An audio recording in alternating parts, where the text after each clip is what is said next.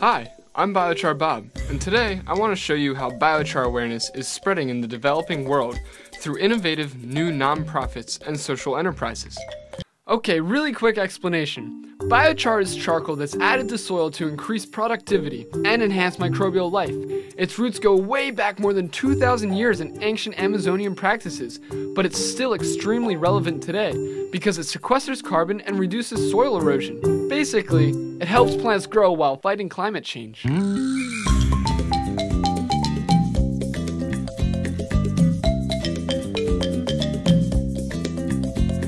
As biochar businesses are popping up all over North America, Australia, and Europe, more and more people are learning about biochar and using it in their own farms and gardens.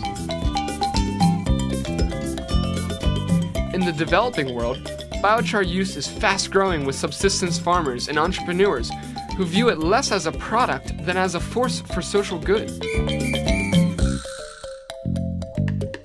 The Char Alliance for the First Tier is an initiative started by organizations that are bringing new char technologies to Haiti, Uganda, and Costa Rica.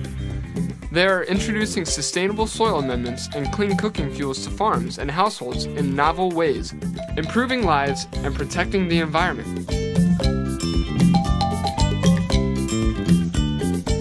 In Haiti, Carbon Roots International is working with isolated farming communities to establish mobile biochar micro businesses that bring fresh new farming practices to some of the poorest people in the Western Hemisphere. Their creative approach creates local green jobs and could feasibly be scaled to millions of farmers in the developing world.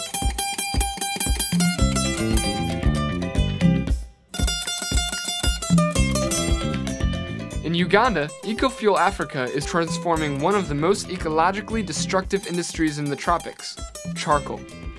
Sanga Moses, inspired by his sister's daily treks to gather firewood, has invented a process of turning discarded sugarcane into carbon neutral cooking fuel that saves trees and money.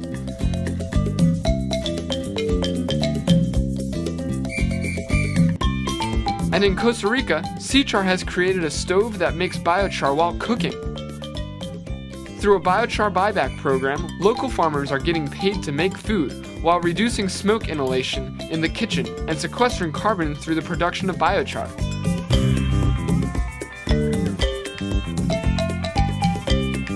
The Char Alliance for the First Tier is dedicated to the promotion and proliferation of biochar and green charcoal projects in the developing world and it's a great avenue for creating awareness of biochar, not to mention sequestering carbon and improving lives. These stories deserve to be shared, so we can show everyone how simple biochar can be and profile the impact it is having on some of the world's poorest farmers.